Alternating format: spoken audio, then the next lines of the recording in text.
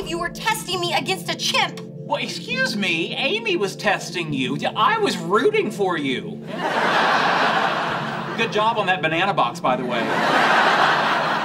Why would she even do this? Well, she's been conducting an experiment on apes where they're given various puzzles to solve. I was surprised at the complexity of the puzzles and thought some humans wouldn't be able to solve them. And that's when Amy said, want to make this interesting.